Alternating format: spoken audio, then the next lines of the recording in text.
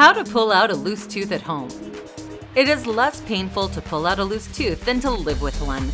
Teeth often fall out on their own, but sometimes they need a little encouragement. A loose tooth won't let you focus on anything, so it is crucial to take it out. Don't worry, it's not as painful as you think. In fact, you'll be doing your jaws a favor. So here's a thought that will make your brain bubble. How do I pull out my loose tooth? It's not a mystery. You just need to be brave enough to do it. But how do you do it? Well, stay tuned to find that out. If you wish to witness more videos like this in your feed, prefer to hit the like and subscribe button, and you'll be notified every time we upload a new video. Now check out these 6 easy ways to pull out a loose tooth without having to suffer. 1. Keeping wiggling. This works best for children who have a loose tooth.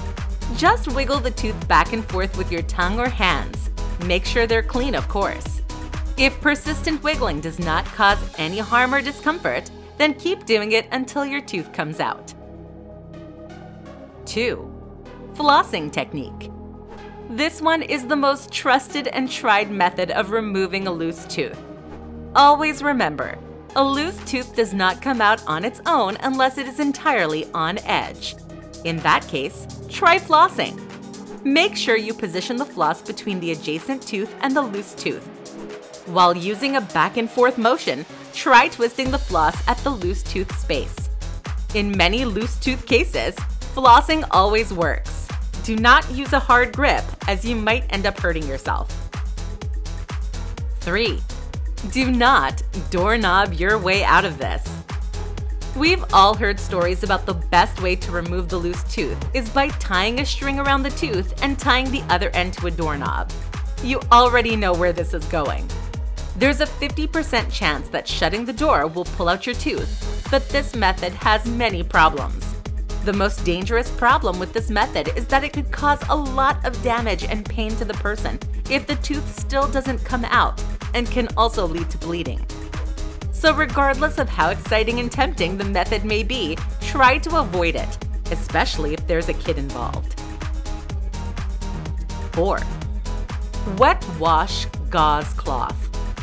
A damp, cold gauze piece or a washcloth can be used to grasp the tooth and turn it to pull it out instantly. When doing this in freezing temperatures, the actual tooth removal process can create less discomfort and pain. Therefore, washcloth or gauze can be used to prevent any occurrences of bleeding. Still, be careful in the matter and do not press hard. 5. The fly ball technique. Here's how this method works tie a string around a baseball or softball and the other side around the loose tooth.